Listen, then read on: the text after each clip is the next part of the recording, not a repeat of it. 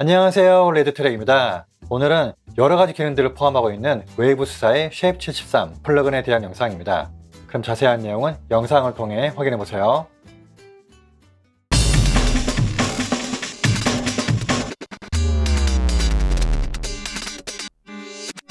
먼저 플러그인 분석에 들어가기 전에 배음부터 한번 체크해보고 시작하도록 하겠습니다. 일단은 언제나처럼 네, 이런 1kHz 사인파에 한번 걸어보겠습니다 네, 기본적으로 이 플러그인을 적용하면요 프리앰프가 이렇게 활성화되어 있는데 이 상태에서 배음을 확인해 봤더니 2차 배음이 발생돼요. 이번엔 끄고 한번 해볼게요. 네, 끄면 아무런 배음도 발생되지 않습니다. 그리고 이 프리앰프를 활성화시킨 상태에서 여기 knob를 한번 돌려볼게요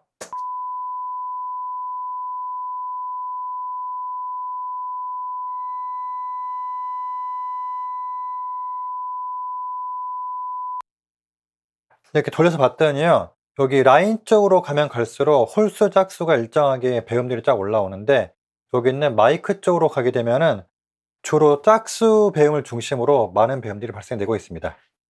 그리고 옆에 있는 드라이버 한번 켜볼게요.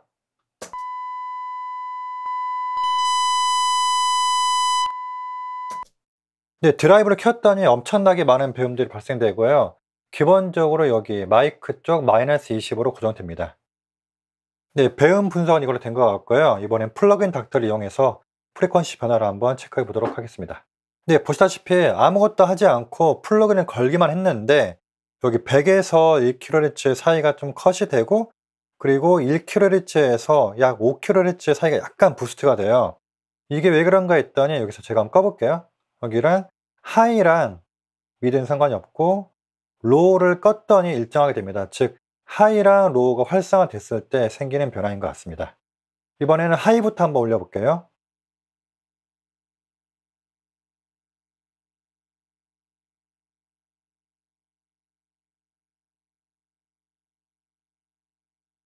네, 보시다시피 12kHz라고 써 있는데 실제로는 여기 1kHz를 중심으로 boost cut이 되고 있고 이번에 mid 쪽 볼게요. mid 쪽에서 1.6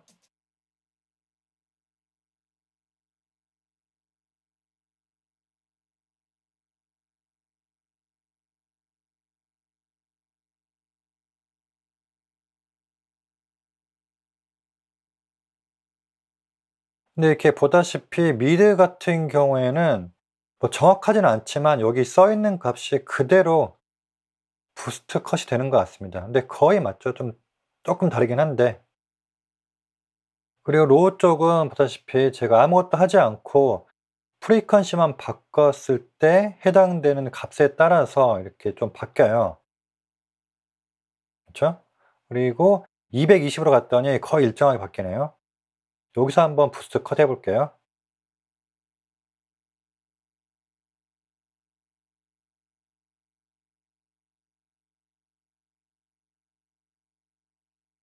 뭐 low 같은 경우도 이렇게 쭉 봐도 거의 뭐 맞지 않기 때문에 그쵸? 뭐 high랑 low 같은 경우는 어차피 써있는 값이 맞지 않기 때문에 귀로 듣고 판단하는 게 좋을 것 같습니다. 마지막으로 여기 있는 high pass filter 볼게요. 네, 걸었더니 정말 독특한 커브로 이렇게 과감하게 컷이 되고 있습니다. 얘를 뭐 끄면은 좀 바뀌겠지만 커브가 그래도 좀 독특한 이런 커브를 가지고 있습니다. 그리고 참고로 매뉴얼에 따르면 여기 high pass filter는 18dB per 옥타브로 작동되고 있다고 합니다. 네, 플러그인 분석은 이 정도로 된 것 같고요. 간단하게 사용 방법에 대해서 알아보도록 하겠습니다. 아까 플러그인 분석 때도 보셨다시피 여기 있는 프리앰프 항목에서 harmonic distortion 생성 유무를 결정하는데 이런 식으로 돌려서 어느 정도 착색을 시킬지 결정하면 될 것 같고요. 그리고 드라이브를 활성화시키면은 이 플러그인을 distortion generator로 만들어주는데 아까 봤다시피 굉장히 많은 distortion을 발생하게 돼요. 그래서 필요에 따라 적용해 보시면 재밌는 사운드를 만들 수 있다 생각합니다. 예를 들어서 이런 게 있잖아요. 이런 베이스에다 한번 적용해 볼게요.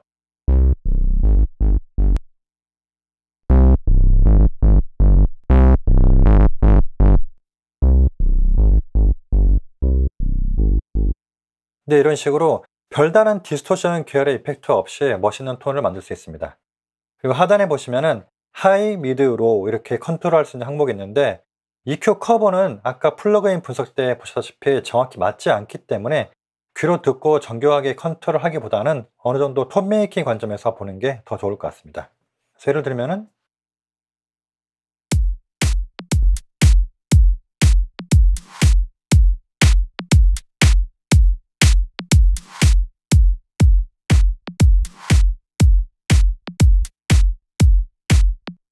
네, 이런 식으로 돌려서 원하는 톤을 만드시면 될 것 같습니다. 그리고 밑에 high pass filter가 있고 그리고 여기 phase 버튼을 이용해서 phase를 반전시킬 수 있고요. 그리고 오른쪽에 보시면은 여기 스테레오, 모노, left, right가 있어요. 그래서 이걸로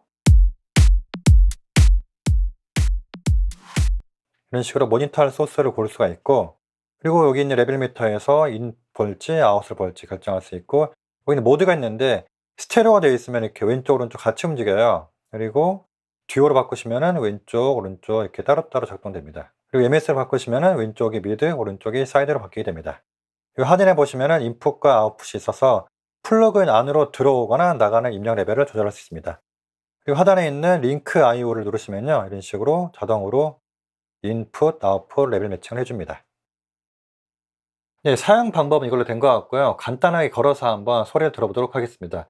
참고로 이 EQ 같은 경우도 풀떼과 같이 어떤 뮤지컬적인 성향을 가지고 있기 때문에 정교하게 뭘 컨트롤하기보다는 귀로 듣고 좋으면 그걸로 될 것 같습니다. 일단은 드럼부터 한번 걸어볼게요. 일단은 끈 거.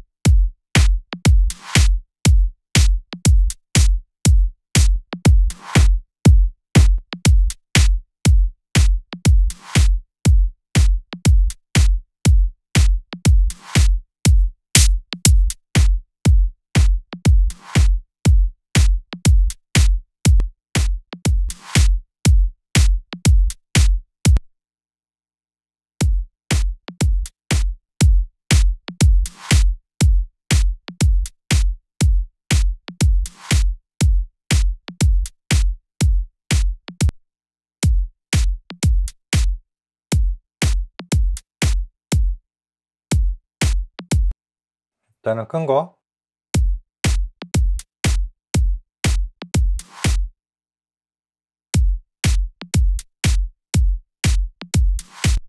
그리고 이번엔 베이스 한번 걸어볼게요. 일단 끈 거부터 한번 들어볼게요. 네, 이걸 가지고 한번 해보겠습니다.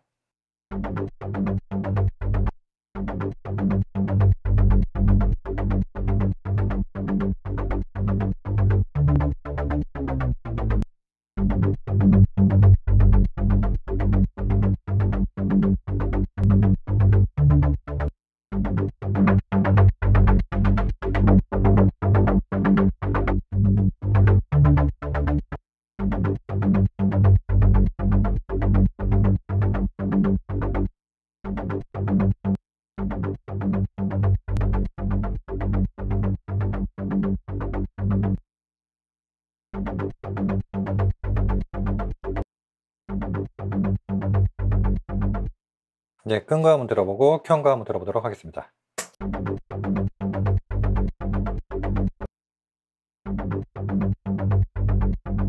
네, 같이 한번 들어볼게요. 끈 거부터.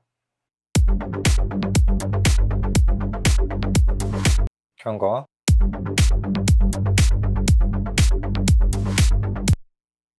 네, 이런 식으로 재미있게 사운드를 만들 수 있다고 생각합니다. 오늘은 Waves사의 Scheps 73 플러그인에 대해서 한번 알아봤어요.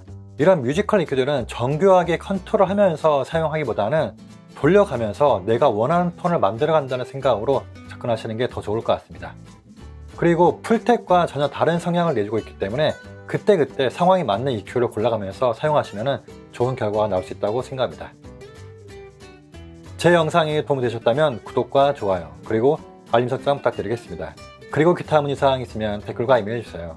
시청해주셔서 감사합니다.